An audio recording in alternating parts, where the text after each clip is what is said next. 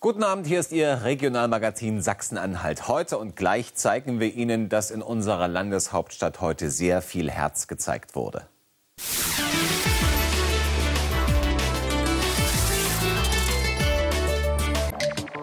Tausende Schüler Sachsen-Anhalts können es sich in dieser Woche im Kinosessel bequem machen. In Bernburg ist die zehnte Schulkinowoche gestartet. Bis zum Freitag werden in fast allen Kinos des Landes Filme gezeigt, in denen es vorrangig um das Erwachsenwerden, Freundschaft und Identität geht. Nach den Vorstellungen können die Schüler über die Filme auch diskutieren und besondere Szenen sollen später auch Teil des Unterrichts sein.